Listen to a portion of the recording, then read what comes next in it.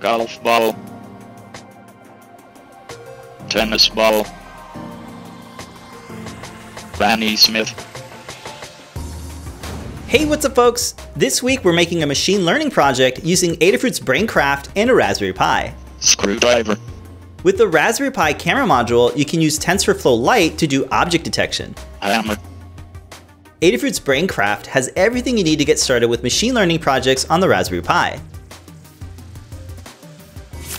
It's got a built-in display, joystick, microphone, speaker, headphone jack, and lots of expansion ports. We designed and 3D printed enclosure to keep everything together so you can take your machine learning projects on the go. We're running TensorFlow Lite object recognition on a Raspberry Pi. With the built-in display, you can see the camera feed. When it detects an object, text is displayed on screen and you get audio from the speaker so it automatically tells you what it thinks it sees. Paper towel. The Learn Guide walks you through the software and hardware setup so you can quickly get started with machine learning projects. You can follow along with the step-by-step instructions to get TensorFlow Lite running on your Braincraft hat in the Raspberry Pi.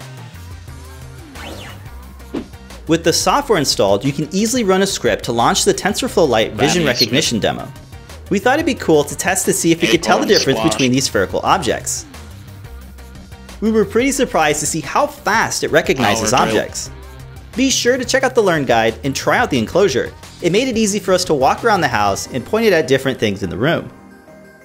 You can get the parts to build your machine learning projects, links are in the description. We'll start by installing the 5V fan by securing it to the Braincraft PCB using the included screws. The Braincraft hat snaps on top of your Raspberry Pi so there's no need to solder. You'll need to use an external monitor to set up the software for the built-in display. We used our 3D printed HDMI monitor with a built-in battery, which you could also build and make yourself.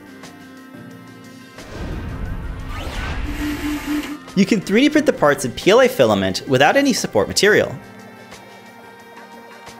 The software and enclosure supports both versions of the Raspberry Pi camera module.